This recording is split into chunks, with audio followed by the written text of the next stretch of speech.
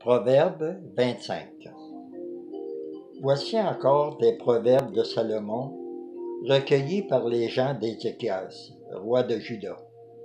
La gloire de Yahusha, c'est de cacher les choses. La gloire des rois, c'est de sonder les choses. Les cieux dans leur hauteur, la terre dans sa profondeur, et le cœur des rois sont impénétrables. Ôte de l'argent les scories, et il en sortira un vase pour le fondeur. Ôte le méchant de devant le roi, et son trône s'affermira par la justice. Ne t'élève pas devant le roi, et ne prends pas la place des grands, car il vaut mieux qu'on te dise monte ici, que si l'on t'abaisse devant le prince que tes yeux voient. Ne te hâte pas d'entrer en contestation de peur qu'à la fin tu ne saches que faire lorsque ton prochain t'aura outragé.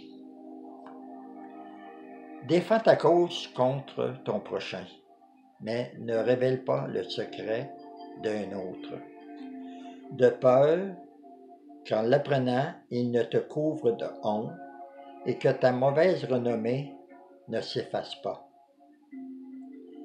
Comme des pommes d'or sur des ciselures d'argent, ainsi est une parole dite à propos.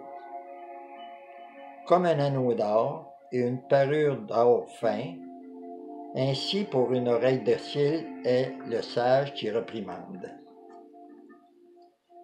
Comme la fraîcheur de la neige au temps de la moisson, ainsi est un messager fidèle pour celui qui l'envoie. Il restaure l'âme de son maître. Comme des nuages et du vent sans pluie, ainsi est un homme se glorifiant à tort de ses libéralités. Par la lenteur à la colère, on fléchit un prince, et une langue douce peut briser ses os. Si tu trouves du miel, n'en mange que ce qui te suffit, de peur que tu n'en sois rassasié et que tu ne le vomisses. Mets rarement le pied dans la maison de ton prochain, de peur qu'il ne soit rassasié de toi et qu'il ne haïsse. Comme une masse, une épée et une flèche aiguë, ainsi est un homme qui porte un faux témoignage contre son prochain. Comme une dent cassée et un pied qui chancelle, ainsi est la confiance en un perfide au jour de la détresse.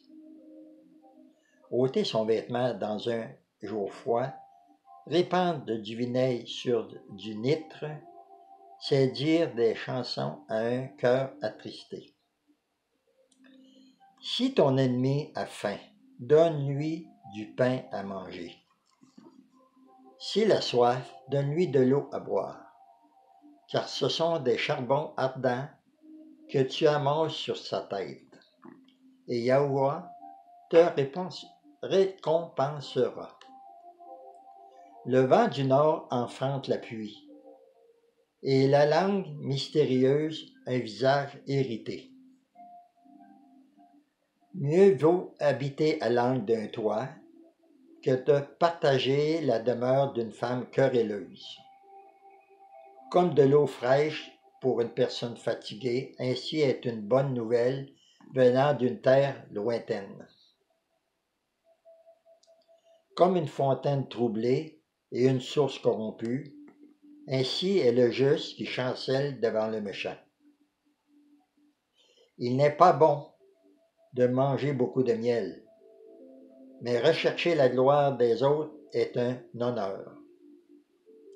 Comme une vieille comme une ville forcée et sans muraille, ainsi est l'homme qui sait par maître de lui-même, qui n'est pas maître de lui-même. OK, 26.